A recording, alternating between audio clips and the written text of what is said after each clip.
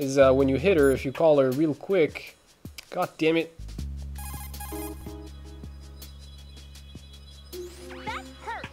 Yeah, she'll say th things like that. Okay, and then if you put her to sleep...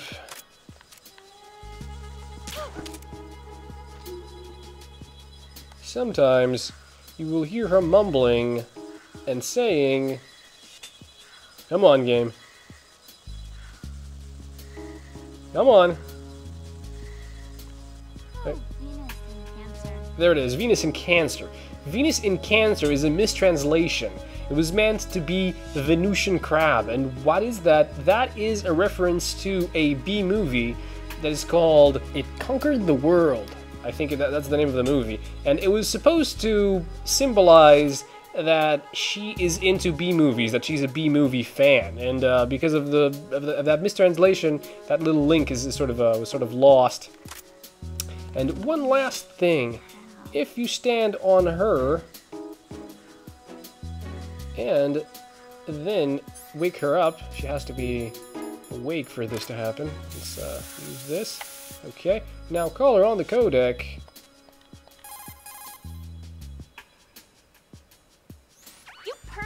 Aha! We got called a perv. Alright, we're done harassing her now. Let's continue. Let's call the elevator here and then proceed with the adventure. If you notice, the things that she says while she's asleep are the things that the bird also... There are no... Oh my god, really? The bugs are back? Are you serious? God damn bugs. Hate these things. Get away, bugs. Why are you still here? Go away.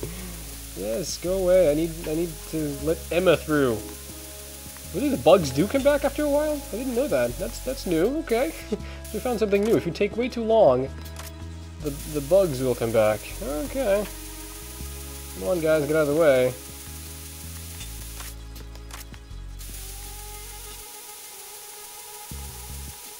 All right, this should be enough. Hopefully. Uh, maybe a little bit more here. Take her. And then proceed upwards. Come on, Emma. This always reminds me of, of Ico. I never actually played that game. I, I should get on that. I should play Ico. I always heard everyone say it was so good. You- It's, a- it's a game, a PS2 title, where you have to... I don't really know. It's sa- saving a girl that doesn't talk, and she's all white, and you have to clear rooms with monsters, and then you have to drag her along like like such, like we're doing with Emma right now. One thing that I didn't show up, that I didn't show during the adventure so far, is that uh, is, is, one, just one cool detail. And uh, whenever I get the chance, I'm going to mess with this guard here and show that to you. Is let's hold him up. Freeze! Okay, and now, when the guard is being is holed up like this, or if you walk them uh, behind them real slowly, you can. Oh yeah, you're gonna try to. Freeze! Ah no, you're not gonna do that. You can sometimes put a C4 on their backs and then explode it if you like, but we're not really gonna kill the guard because that's how we're trying to play the game without actually killing anyone. But you can do that if you like. Like, it's a good strategy if you want to kill a bunch of guards and they're like on patrol and then they all meet up somewhere or something. You can just put some C4 in the back of one of them and when they meet, you explode them all. And that's really, really sadistic, but you can do it. Alright, now there are a few guards over here, and these guards are sort of annoying. And later on! I think I'm going to bring the other guard over here, because eventually another guard will pop from uh, the elevator. And uh, he will see this guard, and he will, of course, grow suspicious, because guards aren't supposed to be sleeping. And uh, the longer we delay that, the better. So let's just leave this guard here, and then put the other guards to sleep that are on our path, and try to proceed without alerting anyone, because that would be bad, because now we, we have uh, Emma to protect. Okay, let's put another guard to sleep. I know there was another one. There are two of those over here. Can't really see them yet. Okay, well, let's just get Emma then, and then uh, we'll deal with the other one when we get there. Come on, man. Come on, Emma. Let's proceed. Okay. Now this portion is a little less actiony and more babysitting-y because you can't really run when she's uh, she's with you. She she's been injected with some sort of uh, god damn it, with some sort of um, muscle. I don't know, mu muscle paralyzing something or another, and she can't really run. So there's not much you can do. You have to make do with what you have. This is as fast as you're going from uh, from now till a little bit later. There is another guard over here, which we're gonna try to get rid of. He's gonna look this way and then that way, Freeze. and then we're gonna freeze him and proceed. Okay. Hopefully the other, the guard that came out of the elevator did not find anyone yet. I don't think so, because they would have grown suspicious, I think. I think we did this pretty well, actually. Yeah, that was, I, I would call this a successful run through this part of the game.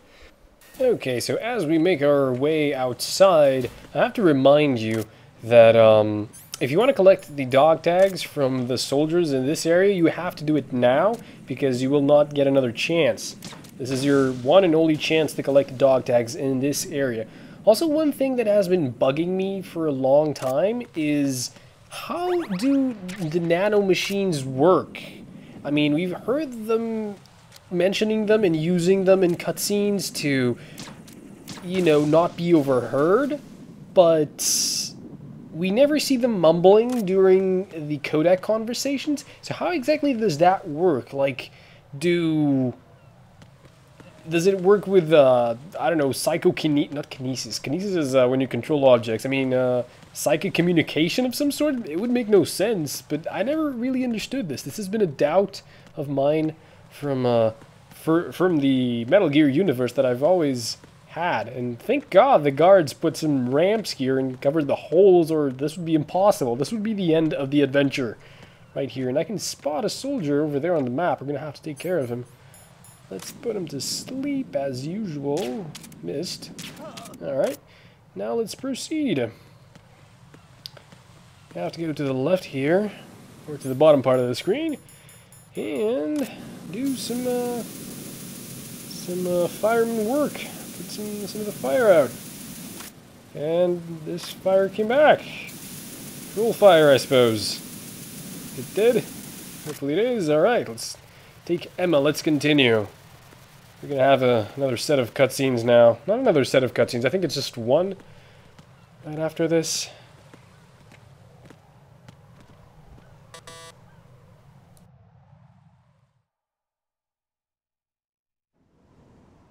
Damn it. What's wrong? This door is security level 5. I don't have card 5. Damn. Giving up already? Ta-da! What the? Are you impressed? You should have told me you had it. Well, the truth is, I just remembered it myself.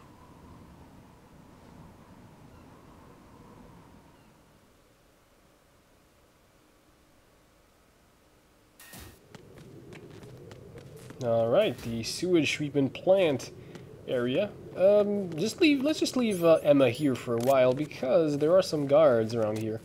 And I totally missed that one, but okay. Well, there are two actually, two guards, and we're going to try to put them both to sleep before we actually proceed into the next room, if we can. See, there's one there. That one's asleep already. And then one should possibly go and try to wake up the other one, and that's when we will strike. Uh, can we? Can we see it from here, even? Ugh, we can't. Okay, how about from here? Okay, we can see it from here. Uh, can go back to sleep, and the other one... How about... If we just wait here patiently until it moves. Freeze. And now, we're going to sleep. Alright, now we can proceed. Let's go get Emma and continue. I can only wonder how bad this smells, this area smells, this sewage treatment. But it's kind of funny, like, they, they actually did some research, and, um, they probably, I, I don't know, this is not based on any research or anything I did myself, but it seems like they did some research on, on actual, you know, uh, plant cleaning, not plant, I mean oil spill cleaning facilities or something, because this, this looks pretty real to me, and uh, it would make sense there would be a, a sewage treatment plant here as well.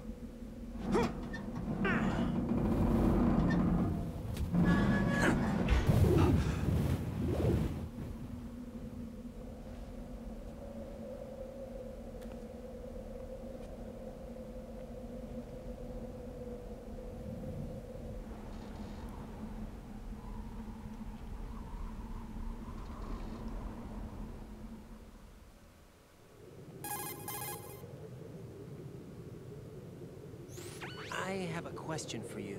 What is it? How do you feel about heights? I can't say I like heights. The water's higher on my phobia list. Why? Well, we have to go down a ladder. How far down? Just a little bit. Why do I feel like we've had this conversation before? How little is little? Mm, about 130 feet. Hmm. Think you can do it? Would you take no for an answer? How are your legs? Better. The numbness is gone. I can climb down on my own.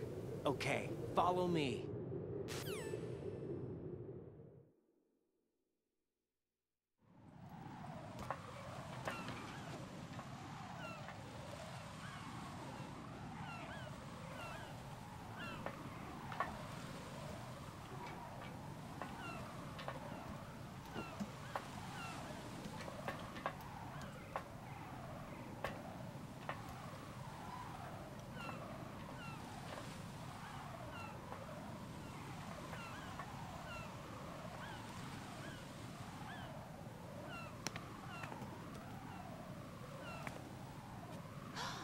The sunset.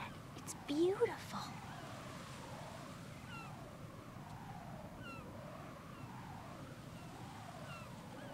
If we don't hurry, it'll be the last we see.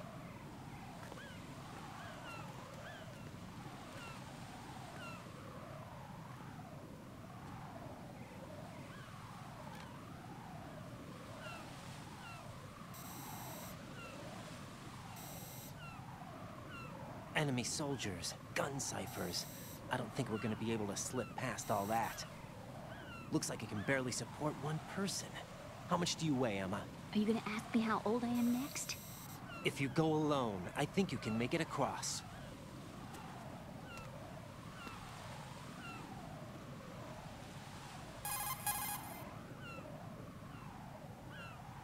This is Raiden. Do you read me? Yeah, what's up? We've made it to the lower part of Strut L. We'll have to cross the water from here. Can Emma walk? Yeah, she's okay. The pontoon bridge doesn't look too sturdy. Emma's gonna have to cross it alone. Right, the oil fence. There are Cyphers and several guards. Raiden, you're carrying a PSG-1, aren't you? Yeah, It's time to play sniper. not bad. This spot gives me a good view of the targets. You're going to have to cover Emma until she crosses to strut E. I'll get there and provide some support of my own. Thanks. Think you can handle it? Yeah, I know the drill. I faced a similar situation in advanced mode level 4 VR training with the PSG-1. VR. Uh, guess it's better than nothing.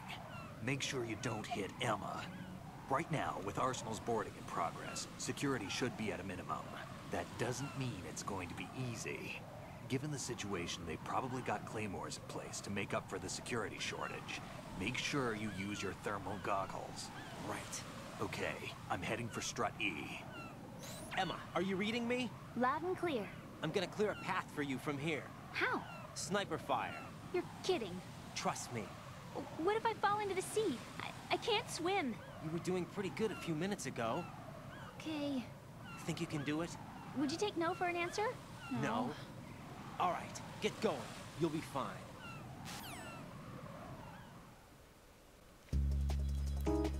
Okay, so this part is a little bit harder than it has to be.